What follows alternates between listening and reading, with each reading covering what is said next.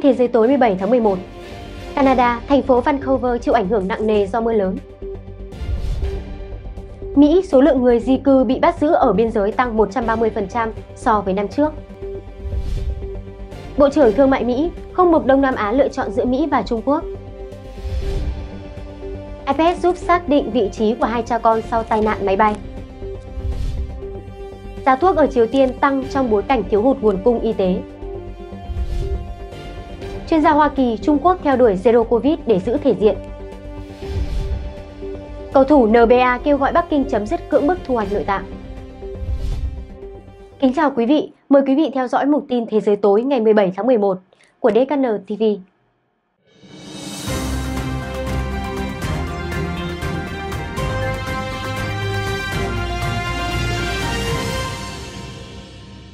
Canada, thành phố Vancouver chịu ảnh hưởng nặng nề do mưa lớn. Ngày 16 tháng 11, Cảnh sát Hoàng gia Canada xác nhận rằng ít nhất một phụ nữ đã tử vong do bị đuối nước khi lở đất chặn một con đường cao tốc lớn ở tỉnh British Columbia. Lũ lụt cũng khiến một số đường cao tốc trong và xung quanh khu vực thành phố Vancouver thuộc tỉnh British Columbia phải đóng cửa. Các tuyến đường sắt do hai công ty đường sắt lớn nhất của nước này là Đường sắt Thái Bình Dương Canada và Đường sắt Quốc gia Canada điều hành đã phải tạm dừng hoạt động vì lũ lụt. Người phát ngôn của cảng Mati Polocoris cho biết, tất cả các dịch vụ đường sắt đến và đi từ cảng Vancouver đều bị tạm dừng vì lũ lụt tại tỉnh British Columbia.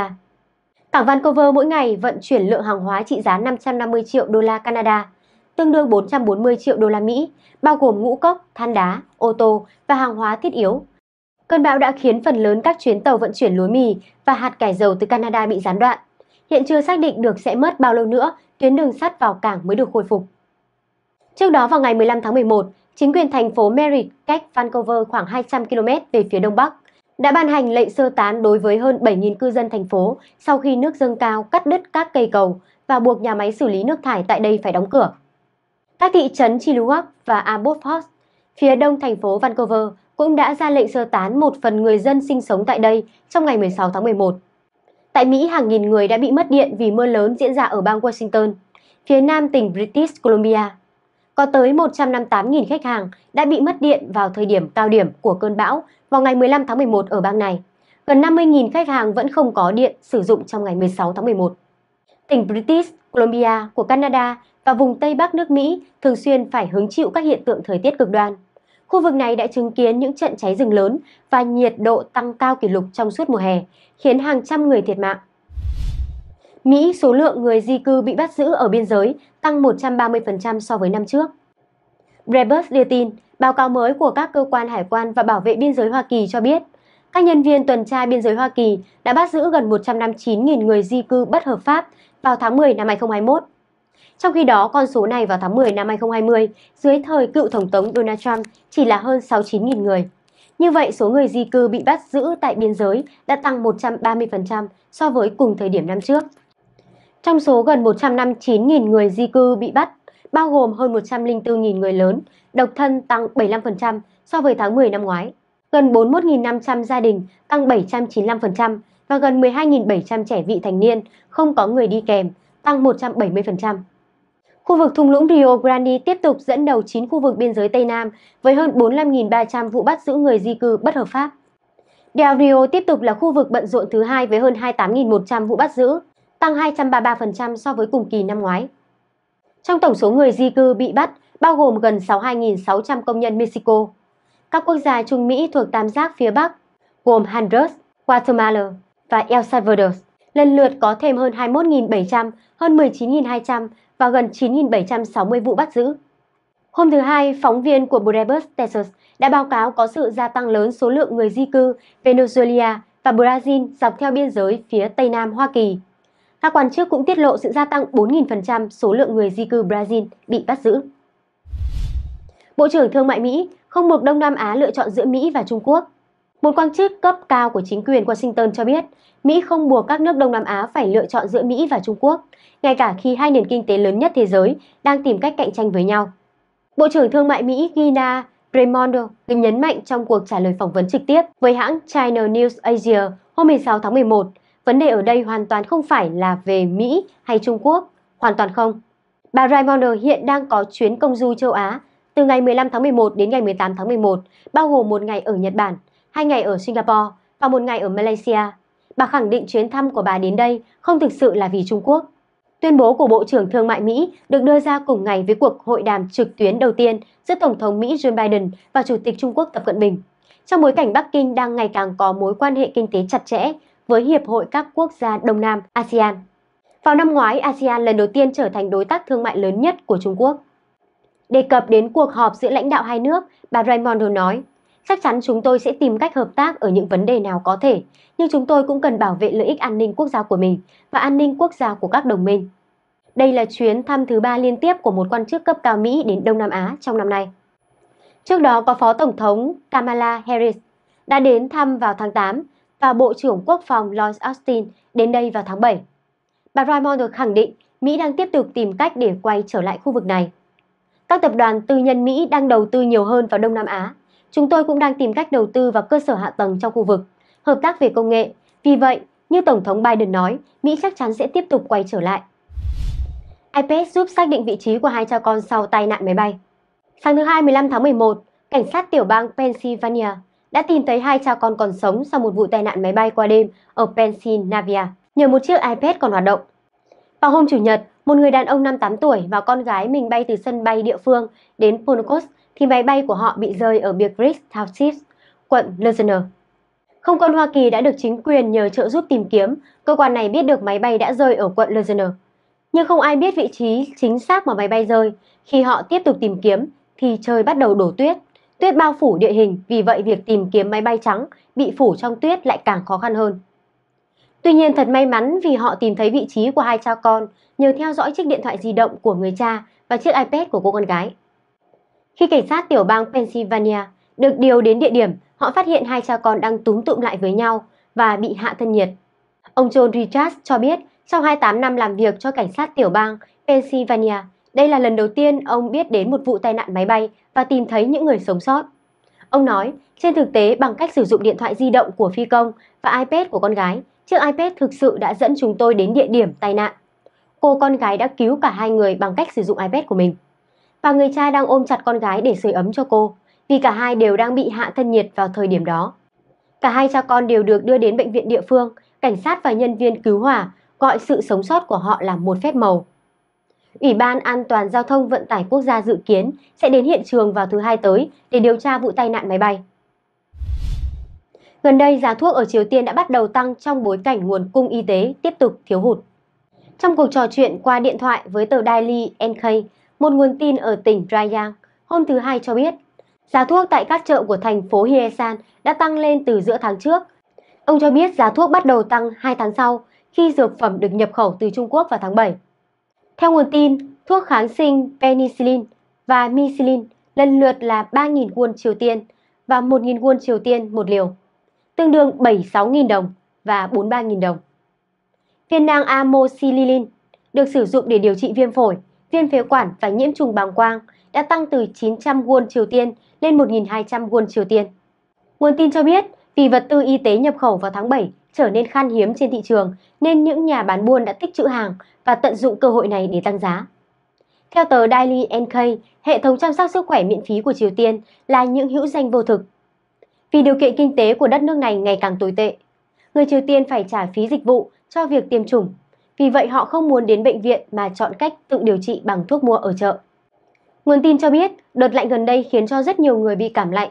Vì không có tiền mua thuốc nên nhiều người chỉ đơn giản là mặc kệ để cho cơ thể tự khỏi. Ông nói thêm rằng giá thuốc không có dấu hiệu giảm do những tin đồn gần đây rằng thương mại của Triều Tiên và Trung Quốc sẽ vẫn đóng cửa. Ông cho biết nếu vấn đề nhập khẩu thuốc vẫn chưa được giải quyết, giá cả sẽ tiếp tục tăng và người dân sẽ đối mặt với nhiều khó khăn. Chuyên gia Hoa Kỳ Trung Quốc theo đuổi Zero Covid để giữ thể diện. Trung Quốc là quốc gia khởi nguồn của đại dịch Covid-19, cũng là quốc gia đầu tiên thực hiện các biện pháp phòng ngừa nghiêm ngặt với mục tiêu quét sạch Covid.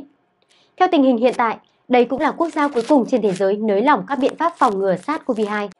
Tiến sĩ Hạ Bân Hebin, một chuyên gia y sinh người Mỹ đã phân tích rằng mục tiêu Zero Covid rất khó đạt được và nội ám ảnh về mục tiêu này chỉ là một công trình thể diện của Đảng Cộng sản Trung Quốc. Vào thời kỳ đầu dịch bệnh, nhiều quốc gia như Úc, New Zealand và Singapore đã học theo chính sách Zero Covid của Đảng Cộng sản Trung Quốc. Tuy nhiên sau khi xuất hiện biến thể Delta với khả năng lây lan nhanh, các quốc gia này bắt đầu thử nghiệm chính sách sống chung với dịch, chuyển sang tiêm chủng phổ cập để chống lại sự lây lan của virus. Tuy nhiên Bắc Kinh vẫn kiên quyết theo đuổi mục tiêu của mình. Gần đây ông Lương Vạn Niên, Liang Quanin, quan chức đứng đầu nhóm chuyên gia phòng chống dịch COVID-19 của chính phủ Trung Quốc khẳng định nước này quyết bám trụ chiến lược Zero COVID-19. Quan chức này nói rằng chính sách của nước này là nhanh chóng kích hoạt các biện pháp phát hiện từ sớm, ngăn không để virus lan rộng. Số liệu chính thức cho thấy Trung Quốc đã ghi nhận hơn 1.000 ca nhiễm kể từ tháng 10. Tuy số lượng không cao nhưng lại trải rộng khắp 21 tỉnh thành, cho thấy sự lây lan trên diện rộng. Để thực thi chính sách Zero Covid, nhà chức trách sẽ thực hiện các biện pháp nghiêm khắc nhất để phong tỏa cả khu vực, ngay sau khi một trường hợp dương tính được ghi nhận. Hậu quả là hàng trăm nghìn người đang bị mắc kẹt trong nhà, ảnh hưởng đến cuộc sống và công việc của họ. Tiến sĩ Hạ Bân nói, khả năng Trung Quốc loại bỏ được virus trước kỳ Thế vận hội mùa đông diễn ra vào tháng 2 năm sau là không thể. Ông nói vào thời điểm mà dịch bệnh được coi là đại dịch toàn cầu, Trung Quốc không ngừng làm ra các khẩu hiệu chính trị. Mọi người cũng trở thành công cụ trong tình hình dịch bệnh. Bây giờ Đảng Cộng sản Trung Quốc vừa muốn phong tỏa, vừa muốn tiêm vaccine. Ông lập luận rằng tất cả các động thái phòng chống dịch bệnh của Đảng Cộng sản Trung Quốc đều mang bản chất chính trị. Từ khẩu hiệu quét sạch Covid, xóa đói giảm nghèo, chính sách thịnh vượng chung của ông Tập đều là những dự án cứu nguy cho hình ảnh của Trung Quốc đối với cộng đồng quốc tế. Ông cũng cho rằng chính sách phòng chống dịch bệnh theo mục tiêu Zero Covid đã biến kinh tế của Trung Quốc thành một nền kinh tế dịch bệnh khi người dân phải tự chi trả các chi phí từ kiểm dịch đến xét nghiệm axit nucleic. Đây là cách kiếm tiền đầy sáng tạo mà chính phủ đã nghĩ ra. Theo ông Hoàng Diên Trung, chuyên gia cao cấp về sức khỏe toàn cầu tại một tổ chức tư vấn của Hoa Kỳ, một trong những lý do chính khiến Đảng Cộng sản Trung Quốc vẫn ôm giữ chính sách Zero Covid là do họ không tin tưởng vào hiệu quả chống lây nhiễm của vaccine. Ông nói mục tiêu của chính sách Zero Covid là một ca dương tính cũng không thể chấp nhận, nhưng trên thực tế ngay cả vaccine tốt nhất cũng không thể đảm bảo khả năng miễn dịch 100%.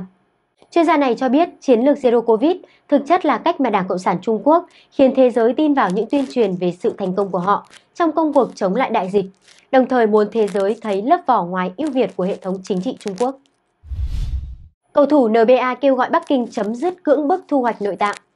Ngày 16 tháng 11, cầu thủ Enes Kanter của đội bóng rổ Boston Celtics đã chỉ trích Bắc Kinh về ngành công nghiệp giết tù nhân lương tâm để mồ cướp nội tạng của họ. Trước đó, cầu thủ này cũng đã lên tiếng chỉ trích Bắc Kinh về các vấn nạn nhân quyền đối với người Duy Ngô Nhĩ và cáo buộc Đảng Cộng sản Trung Quốc phạm tội diệt chủng văn hóa đối với người Tây Tạng. Trong thông điệp mới nhất gửi tới Đảng Cộng sản Trung Quốc, cầu thủ người Thổ Nhĩ Kỳ viết trong bài đăng trên Twitter, Facebook và Instagram của mình. Hãy ngừng giết người để lấy nội tạng, đó là tội ác chống lại loài người. Bài đăng của Cantor cũng kèm theo hình ảnh về một đôi giày đẫm máu. Trên đôi giày vẽ hình một bác sĩ mặc đồ phẫu thuật đang nắm chặt một cơ quan nội tạng của cơ thể người. Phần mũi giày là hình ảnh nội tạng người kèm theo bảng giá. Những vệt máu được điểm xuyết trên đôi giày trắng.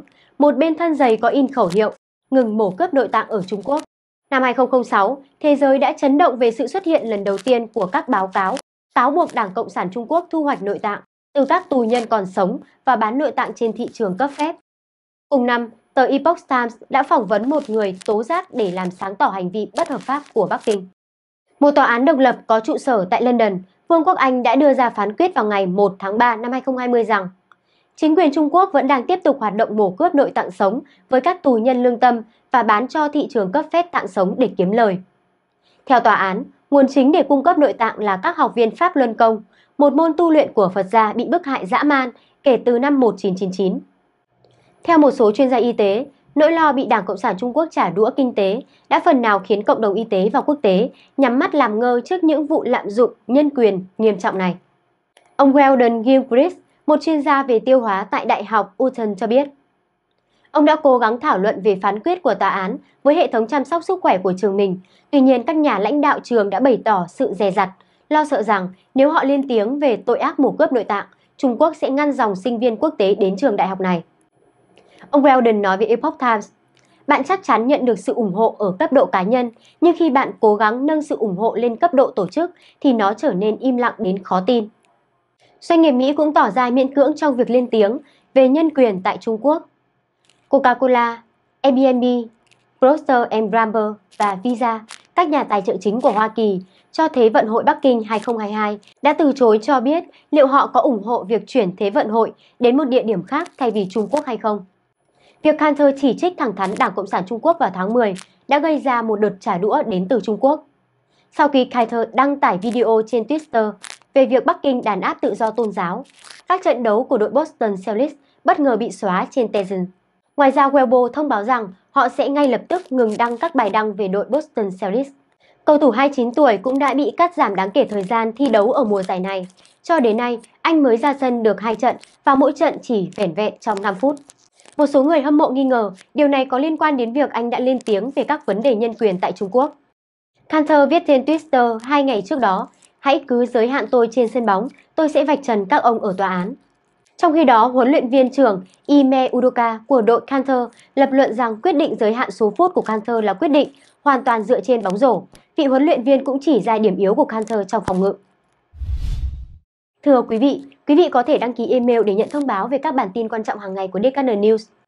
Quý vị cũng có thể theo dõi kênh DKN News trên SafeChat, một mạng xã hội bảo mật và tôn trọng người dùng. Thưa quý vị, mục tin thế giới tối của DKN TV đến đây tạm dừng. Cảm ơn quý vị đã quan tâm theo dõi. Hẹn gặp lại quý vị trong các chương trình tiếp theo.